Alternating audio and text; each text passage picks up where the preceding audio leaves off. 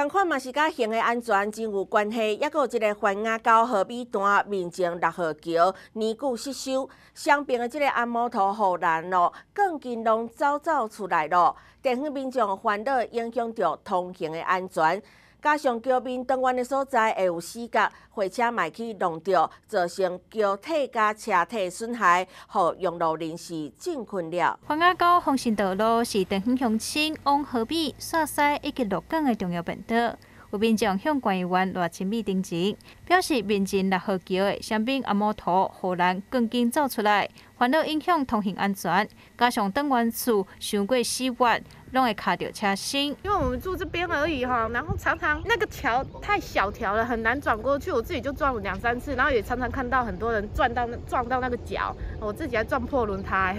所以已经反映很久了，然后希望这次就是赖议员可以帮帮我们申。呃，申请到这个桥重做。真正这个桥有较细吼，啊嘛是拢海去啊，啊进前嘛反映足久啊吼，拢叫伊爱改进啊扩扩宽吼，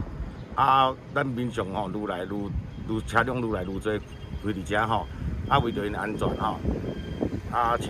管路吼到三层到帮忙吼。现在看到钢筋裸露，就感觉讲吼都无安全的吼。爱讲桥面安应该都还 OK，那我们就准备说改迄个这个护栏吼，重新打掉又换新的，然后最好是有这截角处吼，该有一个弧度的时候，车辆若要进出的时较安全。啊，我希望讲咱的管护会使。哦，工作设计好时，管护紧来做好啊。关于网络亲密接到民众登记，十六号上午，甲管护干部处人员前往会勘，伊计等工作设计了后，将会协助进出经费，来中间面前六号桥的相边阿摩托护栏。到中华新闻叶方有何必采访报道？